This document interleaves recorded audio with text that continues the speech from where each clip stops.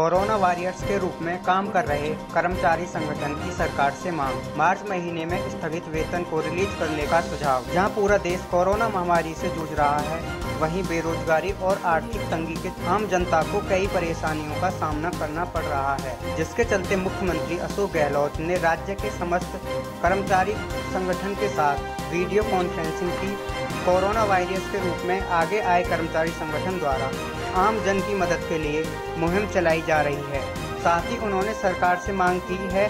पतवार महासंघ के अध्यक्ष विनोद राखनू ने कहा कि सरकार मार्च महीने में काटा गया वेतन को रिलीज़ करे और पटवारी, बिजली विभाग, जलदाय विभाग जितने भी कर्मचारी संगठन प्रत्यक्ष रूप से जुड़े हैं, कोरोना काल में अपना योगदान दे रहे हैं। उनके लिए ID card, face sheet sanitiser, mask की व्यवस्था और टोल फ्री की मांग की है।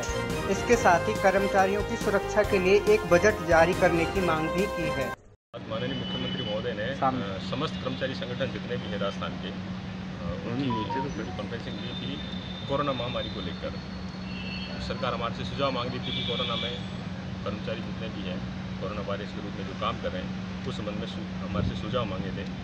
तो हमारे तरफ़ से जो सुझाव दिए गए सरकार को सभी कर्मचारियों ने जितने भी संगठन हैं, उन्होंने एक मुहिम चलाई थी कि कोई भी आदमी व्यक्ति भूखा नहीं सोए तो सभी कर्मचारियों ने अपने घर से दो रोटी, सब्ज़ी, आसपास में जितने भी जो भी घर हैं, उनको खाने की व्यवस्था कराई जाए।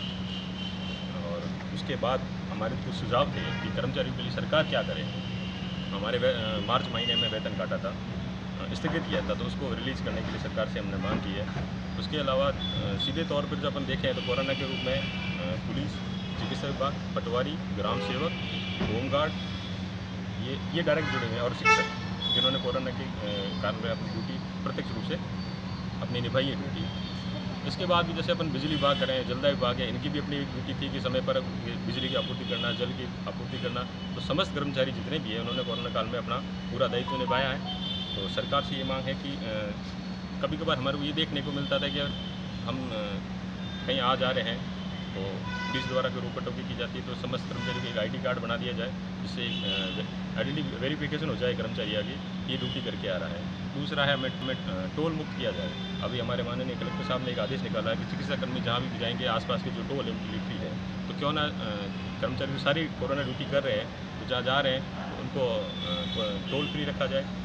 और उसके बाद एक और हमारी थी अ, कर्मचारियों के लिए फेस मास्क जो आजकल प्लास्टिक का फेस मास्क आता है वो है सैनिटाइजर और मास्क और ग्लव्स की व्यवस्था की जाए सभी डिपार्टमेंट के। एक अलग से एक बजट जारी किया जाए कलेक्टर महोदय की तरफ़ से तो समस्त कर्मचारियों की सुरक्षा का उपाय किया जाए। इस संबंध में हमारी वीसी की और हमारे अगले जो वीसी होगी सीएम साहब ने आश्वासन दिया है कि जो सरकार हमारी जो कर्मचारी महासंघ की जो मांगे पेंडिंग चल रही है उसको लेते हुए सरकार हमारी सुनवाई करेगी और उम्मीद है ये सरकार हमारी ज़रूर मांगे पूरी करेगी।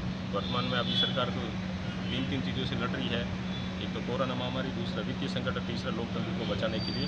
तो उम्मीद करते हैं कि तीनों भी इस लड़ाई से सरकार जीत गए और कर्मचारियों के भले के लिए सोचेगी। धन्यवाद। मैं विनोद रत्नू जिलाध्यक्ष कर्मचारी महासंघ, अजमेर और पटवा सिंह जिलाध्यक्ष।